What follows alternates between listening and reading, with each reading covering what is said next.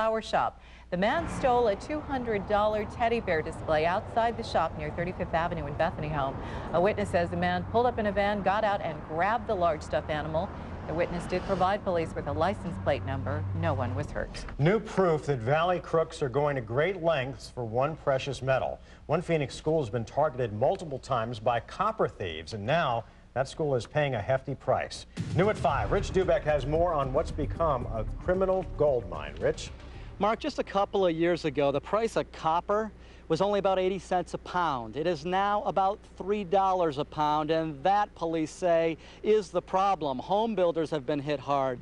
So have plumbers and electrical supply companies, and now you can add Valley Schools to the list.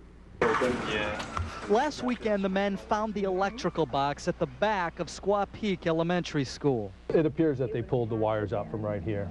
Police believe they used a cable and a truck to yank out roughly a thousand feet of copper wire. Well, when they pull the wire, what they're doing is basically cutting off our electricity.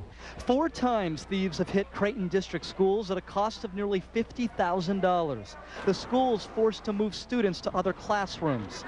Police say the thieves will yank transformers right off telephone poles. According to SRP, they're averaging seven incidents a month at a cost of more than $400,000. Recently, we had an incident in the West Valley where copper thieves actually cut down more than 20 energized power poles. The people who steal copper can sell it in scrap yards, and a lot of times the things that they steal aren't specifically marked, so it's hard to track where those things came from.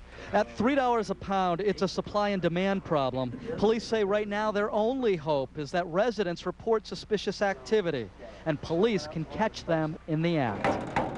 In Phoenix, Rich Dubek, 12 News. Now, as far as the scrap yards, they are required to document metal transactions, but tomorrow, police, construction companies, and utilities will all meet to discuss new ways to try to get a handle on this problem. Two people are recovering after flames engulf a mobile home in Mesa this afternoon. The view from Sky 12's Power Vision shows extensive damage to that home, which is near Val Vista and Broadway. Both victims were able to get out of the home, but they did suffer cuts and burns. The home, though, is considered a total loss. Well, wicked weather is being blamed for at least a dozen deaths along the East Coast. Weather forecasters have issued blizzard warnings for parts of New Hampshire, Massachusetts, and Maine. The region could get up to two feet of snow. Utility workers say close to 300,000 homes and businesses have lost power. One community really getting hit is Burlington, Vermont. People there could be blanketed by two feet of snow before the system finally moves off. State police have put more than three dozen troops on highways to help with stranded motorists. The storm also forced the cancellation of most flights in and out of Burlington International Airport. The storm is causing numerous flight delays and cancellations from coast to coast, the impact even being felt here at Sky Harbor. Travelers are dealing with some late arrivals and departures to destinations like Chicago O'Hare because of the weather. And we've set up a link on our website at 12news.azcentral.com so you can check flight status before leaving home. Well, many kids in northern Arizona were pleasantly surprised this morning when they awoke to a snow day. A storm pushed through Flagstaff overnight and it left dangerous driving conditions on many of the roadways. Brandon Klein joins us from Flag where crews have been busy throughout the day. Brandon? Yeah, Lin Sue, kids had a pretty easy day, but adults were busy with accidents and road closures. This is Highway 89A, one of the main roads to Sedona. Now, it has been reopened, but conditions are so bad, officials say it could close again for weeks at a time. Flagstaff drivers not quite ready for the ice and snow that was waiting for them on the roads this morning. Even in my truck, I sometimes slide around a bit.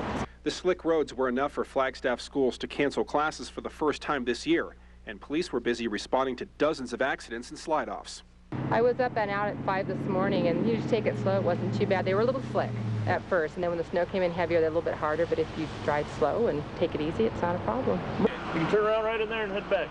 Officials are still dealing with erosion problems following last summer's Brins fire.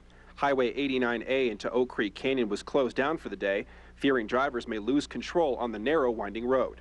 Tight curves and things of that nature uh, can cause a lot of problems uh, with ice on the roadway.